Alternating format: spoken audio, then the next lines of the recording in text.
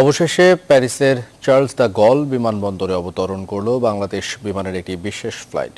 দুশো সাতচল্লিশ জন যাত্রী নিয়ে চব্বিশ জুন বাংলাদেশ থেকে যাত্রা করে dream liner Boeing seven eight সেভেনের BG four one four seven নম্বরের এই বিশেষ ফ্লাইটটি অবতরণ করে। প্যারিস থেকে বিশেষ এই ফ্লাইটের বিস্তারিত সংবাদ নিউজ টোয়েন্টি ফোরকে জানিয়েছেন ফয়সাল আহমেদ দ্বীপ করোনা ভাইরাস মহামারীতে বাংলাদেশে আটকে পড়া ফ্রান্স প্রবাসীদের এই বিশেষ ফ্লাইটটি স্থানীয় সময় বিকাল পাঁচটায় অবতরণ করে। এর আগে বাংলাদেশ দূতাবাসের সার্বিক সহযোগিতায় অল ইউরোপিয়ান বাংলাদেশ অ্যাসোসিয়েশন আইবার উদ্যোগে এবং ফ্রান্স আওয়ামী লীগের সহযোগিতায় এই বিশেষ ফ্লাইটটির সকল কার্যক্রম সম্পন্ন করা হয়। রাষ্ট্রদূত ইমতিয়াজ হোসেন এই বিশেষ ফ্লাইট আয়োজনের উদ্যোগের জন্য বাংলাদেশ বিমান এবং বাংলাদেশ বিমান বাহিনীর ওয়েলফেয়ার ট্রাস্টকেও তাদের সার্বিক সহযোগিতার জন্য আন্তরিক ধন্যবাদ জানান। প্রথমত আমার পক্ষ থেকে, দূতাবাসের সকলের পক্ষ থেকে তাদেরকে স্বাগতম জানিয়েছি।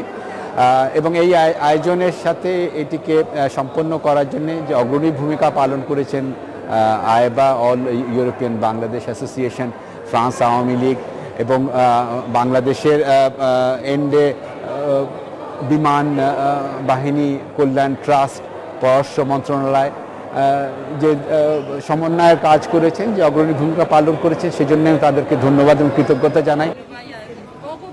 আইবা মহাসচিব কাজী আনায়তুল্লাহ বলেন, করোনার প্রাদুর্ভাবের কারণে ফ্রান্স প্রবাসীরা বাংলাদেশে গিয়ে আটকে পড়েন।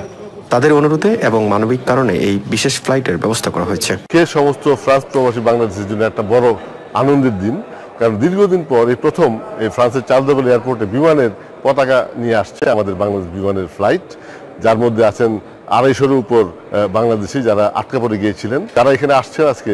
এটা অত্যন্ত গুরুত্বপূর্ণ ছিল। বাচ্চাদের স্কুল খুলছে কাজকর্ম শুরু হয়ে গেছে। অতএব তাদের এখানে আসাটা খুব জরুরি ছিল। আমরা যারা সক্রিয়ভাবে তাদেরকে সহায়তা করতে পেরেছি আমরাও আনন্দিত। দেশে ছুটিতে গিয়ে কোভিড নাইন্টিনের কারণে ফ্লাইট সমস্যায় ফ্রান্স ফেরার অনিশ্চিত দেখা দিলে তাদের মধ্যে চরম হতাশা উদ্বেগ উৎকণ্ঠা কাজ করছিল। কিন্তু সবশেষ এই বিশেষ ফ্লাইটে ফ্রান্সে ফিরতে পেরে উচ্ছ্বাস এবং আনন্দ প্রকাশ করেন উদ্যোক্তাদের ধন্যবাদ জানান ফ্রান্সে ফেরা এই প্রবাসীরা।